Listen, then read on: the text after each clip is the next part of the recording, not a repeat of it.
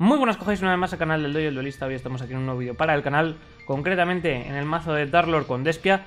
Y es que, pues, me lo habíais pedido bastantes y, bueno, lo he estado echando un tiento hasta que al final he conseguido alguna cosilla. Pero sí que es cierto que he de admitir que el mazo no funciona tan bien como me lo esperaba. El mazo no es malo, funciona con el tema de la temática de hadas de oscuridad y la verdad es que saca bastante provecho de ello, pero tiene dos pequeños problemas. El primero es que implementar el motor de Branded se hace un poco complicado por el tema de que la Branded Fusion te va a limitar a fusión a no ser que uses Bertanaconda. Entonces, puede llegar a ser un poco problemático. Segundo problema, el motor de lo que sería apartado de Darklord funciona muy bien como motor de robo, eso sí, pero hay una carta en concreto que la necesitamos sí o sí en la estrategia, que es esta Indulgent Darklord, que sí que es cierto que tiene el pequeño problema de que te limita efectos de hada. Entonces, Ahí jugamos con una dualidad un poco complicada, sobre todo en el apartado Branded, porque si vamos a jugar esta carta, tenemos que hacerlo después de haber jugado los Branded, lo veremos después.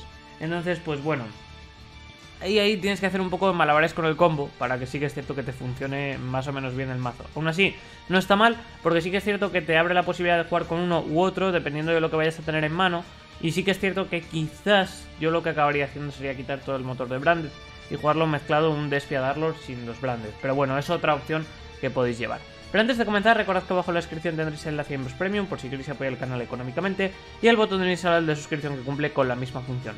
Recordad también que tendréis, recordad también que estamos en Twitch, donde hacemos gameplays, donde hacemos pues eh, unboxings, hacemos sorteos, un poquito de todo, pues para que os paséis y os podéis llevar alguna cosilla cuando hagamos algún sorteo o alguna cosita así.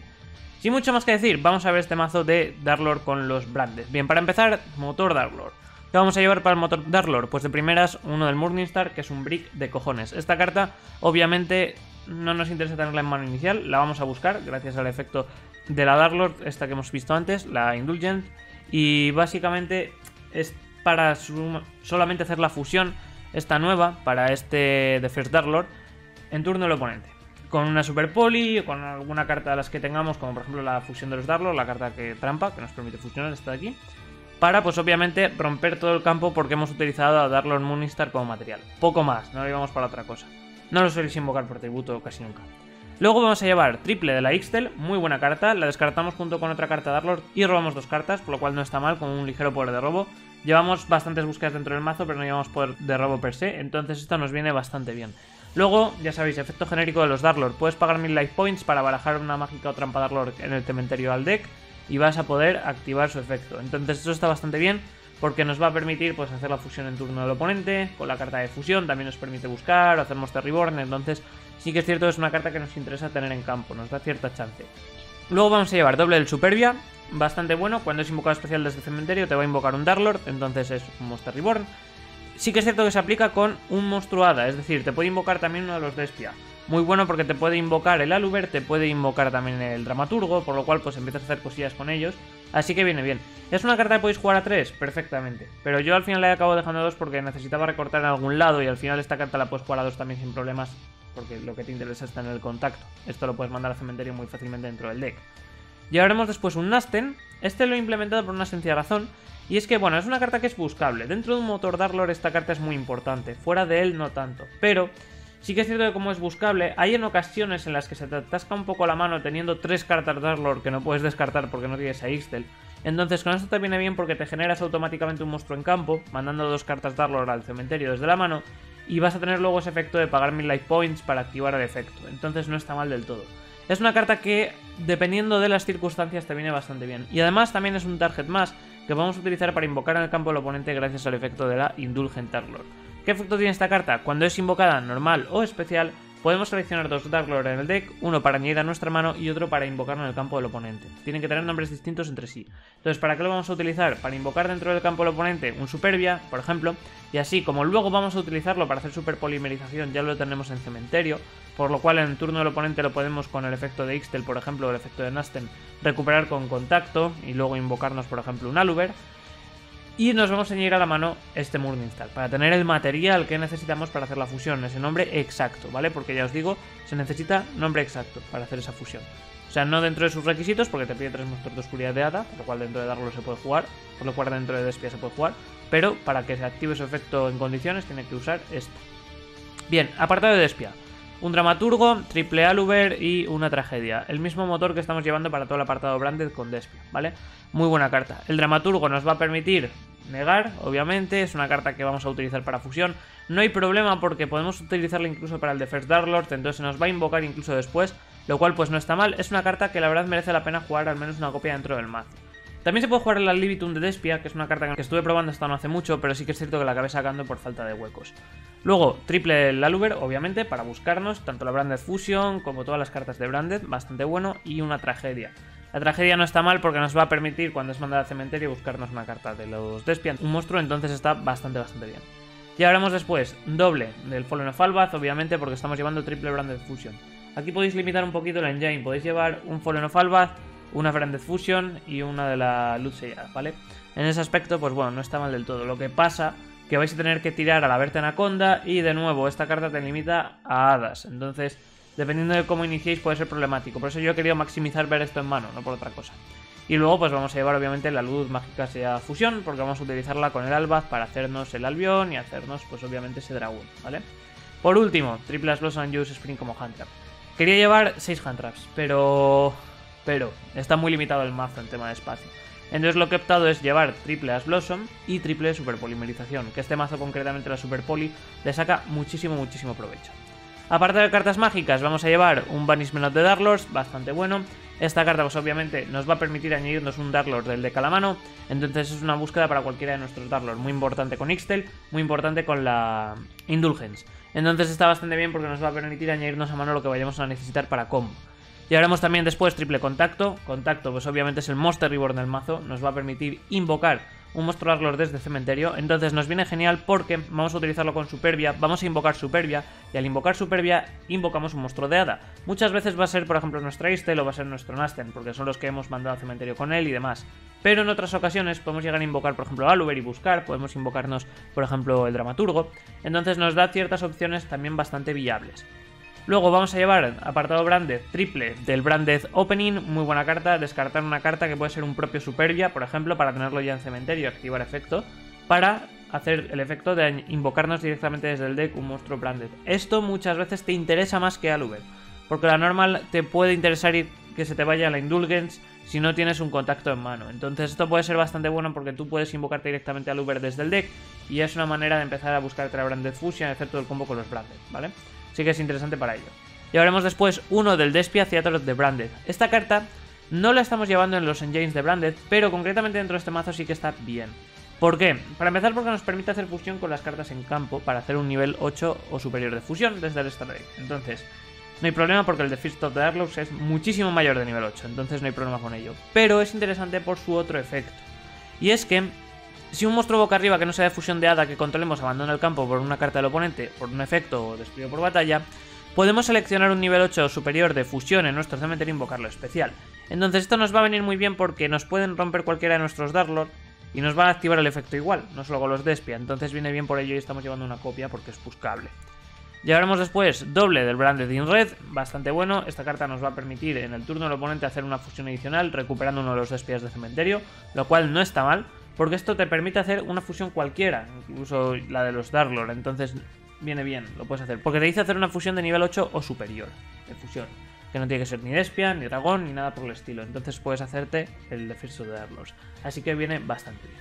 Ahora, antes de acabar con las mágicas y trampas, voy a aprovechar para una pausa publicitaria que como ya sabéis, estamos haciendo el sorteo del tapete de Duel Links, estamos haciendo también el sorteo de la baraja de Albaz Strike con ese el grupo de acertijos, que os dejaré por aquí en pantalla una etiqueta al mazo de Branded Despia, donde podéis ver un poquito en lo que se basa este sorteo, en el que voy pues, en varios mazos que estoy subiendo de Branded, soltando un acertijo que tenéis que rellenar en una hoja que podéis descargar ahí. Y cuando estén los cinco acertijos, que el último será en el último vídeo, que es el del Lich con Branded, ese ya os lo aseguro, ese fin de semana, que supongo que será este sábado, haremos un directo y ahí pues veremos quién es el, el ganador y veremos pues todas las respuestas de los acertijos. Entonces, el acertijo de este Darlord Despia es el siguiente. Del Halloween son los reyes, los maestros del truco o trato. De 1 a 4 van sus rangos y niveles y ten cuidado cuando estén boca abajo. Venga chicos, este es muy fácil, este seguro que lo podéis sacar porque es un arquetipo además que os gusta mucho, os doy ahí una pista extra. Y ya nada, estaré esperando a que acabéis con el último acertijo que será el de Lich Branded y a ver pues quién es el ganador de ese tapete.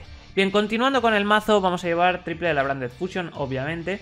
Es una carta que nos va a permitir hacernos este combo con este, así que ya está, bueno, lo tenemos muy conocido. Vamos a buscarlo con Aluber, etcétera, etcétera. Es que llevamos ya cuatro mazos de Branded, o sea que es que no hay mucha más explicación por parte de esta carta. Y por último, una super polimerización que vamos a llevar tres copias. Esta carta dentro del mazo viene brutal, porque para empezar el descarte con Superbia no está mal, el descarte con Tragedia no está mal, entonces es bastante decente, pero es muy muy bueno, sobre todo por el efecto de esta Indulget, porque esta Indulget te pone un monstruo de Darklord en el campo del oponente. Entonces, ¿qué está pasando con esto? Bueno, que para empezar ya estás dándole al oponente un monstruo de hada, por lo cual ya es un material para hacer esto, pero también estás dándole un monstruo de oscuridad, por lo cual es un material para hacer cualquiera de estos dos. Entonces de esta manera tú puedes con el oponente, en el momento que invoque cualquier cosa, hacer una super polimerización y bajarte cualquier mierda de lo que tienes en deck. Incluso podéis llegar a meter un Mudragon, que yo en mi caso no lo llevo, pero se puede llegar a meter un Mudragon y todavía esta super poli es más rentable. Entonces es una carta que dentro concretamente de esta build es muy, muy buena. Y por último vamos a llevar un Darlock Uprising. Esta carta es brutal también dentro del mazo. Es una carta que nos interesa que esté en cementerio, ¿vale? Para ello podéis acceder con ella, por ejemplo, con Ukobak. Podéis llevar a Ukobak también dentro del mazo y en el momento que cae a campo te la tira a cementerio. Vale, no está mal. No es tan necesaria para llegar a hacer eso, pero está bastante bien. ¿Qué efecto tiene? Bueno, el coste es mandar un monstruo Darlord de nuestra mano o boca arriba en campo al cementerio. Para invocar por fusión un monstruo de oscuridad de fusión desde nuestro extra nos da igual que sea el de First Darlord, es decir, podemos utilizarlo también para los Branded, o sea que eso está también muy bien porque podemos usarlo, por ejemplo, para el Masquerade, que yo lo uso bastante para este, para Queritis, también está bastante bien, para Proskenion, o sea, es una carta bastante buena. Y luego nos vamos a curar en base al ataque del monstruo, el ataque original del monstruo que hemos mandado al cementerio. Es una carta que está bastante bien porque nos va a permitir invocarnos cualquier fusión. Y esto, obviamente, con este Nasten o con esta Istel cuando están en campo, pagamos los 1000 life points para activar su efecto. Entonces no está mal. Luego vamos a llevar de primeras, de fusiones, del Stradec de First Darklord, muy buena carta, tres monstruos de hada de oscuridad, lo cual, pues bueno, dentro de Despiada y de Darklord es fácil de invocar. Cuando es invocado por fusión utilizando un Morningstar, nos permite destruir todas las cartas que el oponente controle, por eso estamos llevando este brick, porque esto lo hacemos en turno y le barremos campo. Y luego además, durante la main phase, como efecto rápido, podemos pagar 1000 life points para invocarnos un nada especial desde cementerio. Esto está bestial porque vas a estar spameándote constantemente el dramaturgo y así tienes una negación en campo prácticamente de gratis, así que no viene nada mal. Aparte también se puede usar para el Aluber, aparte también se puede usar para la Istel, entonces nos da muchas opciones de funcionar. Luego vamos a llevar el Proskenion como boss monster. Es una carta que está bien, podéis jugarla o no, a vuestro gusto, pero bueno, yo como boss monster me gusta bastante. Te puede servir pues para quitarle un monstruo al oponente desde el cementerio y empezar a hacer cosillas. Un Quarity es bastante bueno porque es un control adicional, dentro de Despia se baja muy fácilmente. Vamos a llevar doble del Masquerade, el mejor monstruo que tiene el mazo. También va a salir un nuevo monstruo en Dimension Force, también de los Despia y tal. Podéis llevarlo dentro del deck, es muy muy bueno, así que también es otra opción. Y luego, en el apartado Branded, Mirror Jade, obviamente, junto con un Lubelion, obviamente. Muy buenas cartas, pues, obviamente este lo vamos a bajar con cualquier fusión, nos va a permitir pues luego hacer ese efecto de destierro, Lubelion para barajar, el combo estrella, doble el albión, que este nos va a permitir desterrar desde el cementerio para bajarnos dragón, para bajarnos el mirror jade, así que bastante bueno.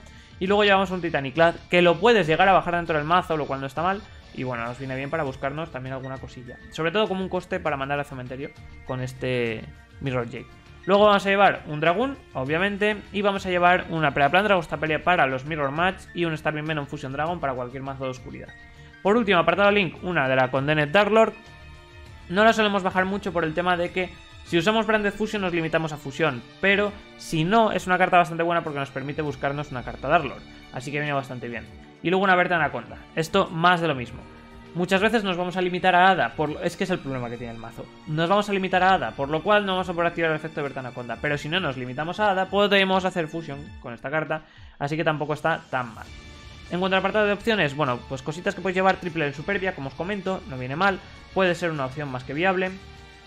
También el Ukobak, como os decía, es una carta que podéis llevar para mandar al cementerio, sobre todo si vais a querer jugar más un apartado de, de Darlord, llevando por ejemplo una Rebellion, un Enchantment o el Sanctified, tenéis que llevar estos tíos para mandarlo al cementerio y aprovechar un poquito los Darlords. Pero esta es una build más pure Darlords, entonces realmente al final es muy limitada la composición para llevar 40 cartas.